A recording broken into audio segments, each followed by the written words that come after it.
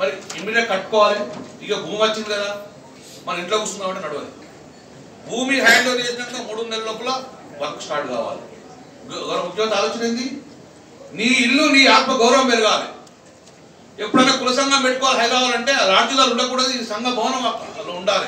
అది మీ అడ్డ. అదే మన భవనం అదే నీడగా ఉండాలి కాబట్టి మూడు నెలల లోపల పని మొదలు పెట్టుకోవాలి కంటిన్యూ కావాలి.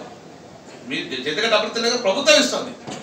ప్రభుత్వమే నిధులు ఆ ప్రభుత్వం నుంచి కట్టుకోవాలి. సో ఆ డిసిషన్ మీ దగ్గర ఉండాలని చెప్పి ఈరోజు మీ ముందుకు రావడం జరిగింది కాబట్టి గౌరవ మా కుల సోదరుల మా కుల బాంధవుల ఈ అవకాశం సద్వినియోగం చేసుకున్నాం భావితరానికి బంగారు పెట్టిద్దాం మనం ఈ భూమి మీద వెయ్యేళ్ళు వందేళ్ళు ఉడతకు రాలే.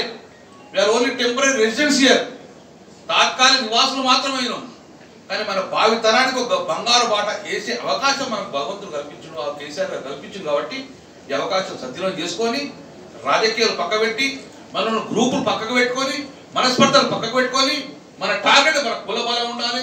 ఈ గౌరవ ముఖ్యమంత్రి ఇచ్చిన ఈ సంఘాన్ని దృఢంగా చేసుకోవాలనే ఉద్దేశంతో మీ ముందుకు రావడం జరిగింది. సద్వినియోగం చేయాలని మనస్ఫూర్తిగా ఒక బీసీ శాఖ మాత్రులుగా మీ అందరికీ కూడా కృతజ్ఞత చేసుకుంటూ మనందరి పక్షాన మనందరి పక్షాన గౌరవ ముఖ్యమంత్రి గారికి మన వెనుకబడిన కుల పక్షాన కృతజ్ఞత తెలియజేసుకుంటూ గౌరవ మంత్రివర్యులు శ్రీనివాస శ్రీనివాస్ గౌడ్ గారిని మాట్లాడుతూ కోరుతున్నాను.